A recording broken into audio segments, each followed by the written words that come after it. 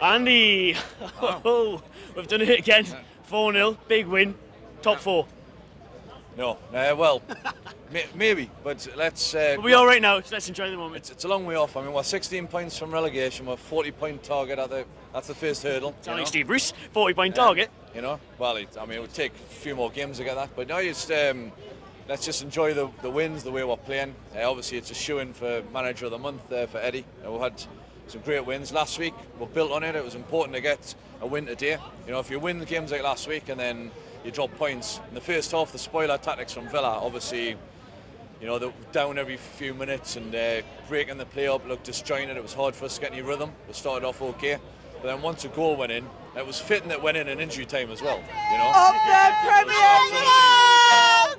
Yeah, yeah, yeah, yo. Up the Premier League we we get in Europe. This is what we say. We are Geordie, Super Geordies, and he is our king. Yeah, yeah, yeah. Sorry, all the way from Nottingham. Love it, love it. love to You've, see ju- it. you've just increased the views anyway, because I'm a boring bastard with a monotone voice. Yeah, you'll be in the thumbnail then, like. But anyway, um, but anyway, that's uh, just a great win. And um, but you know, you've always got to work hard for the first goal in the Premier League, and we did that. You know, we've got physicality with scrap.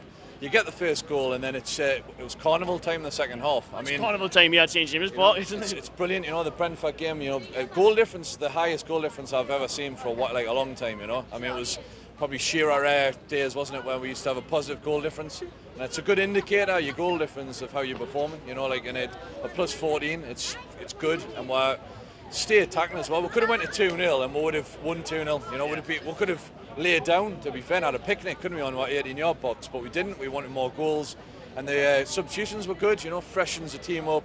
You have hungry players coming in like Murphy, and the bench, you know, what a contrast from last year. You know, got options on the bench. You take Miggy off, and they're thinking, bloody hell, that workhorse is off, and then you bring Maxi on, and the, the strength and depth there, man. So I just think it's enjoy it. Uh, let's not get too ahead of ourselves, but if we can get four points or six points for the next two league games and beat uh, Palace in the Cup, sets were up beautifully before the World Cup, and um, there you may be dare to dream a few more, few signings. I think the Saudis might be thinking. You know what? If we'd been sort of eighth or ninth in the league at the moment, they might be thinking, well, well maybe one, two signings. Now they might make the sets. Who knows? Might be a stellar signing.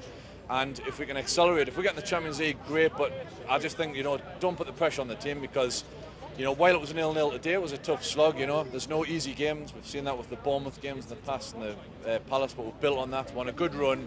Let's just keep it going. Do you think the World Cup break's going to be good or bad for Newcastle? It's a, it's a difficult one actually. I think it's bad in one sense because we're playing so well and the results are coming, but it might be good that there's more games left for when we make the January signings. So it's a longer second half of the season with a bigger squad.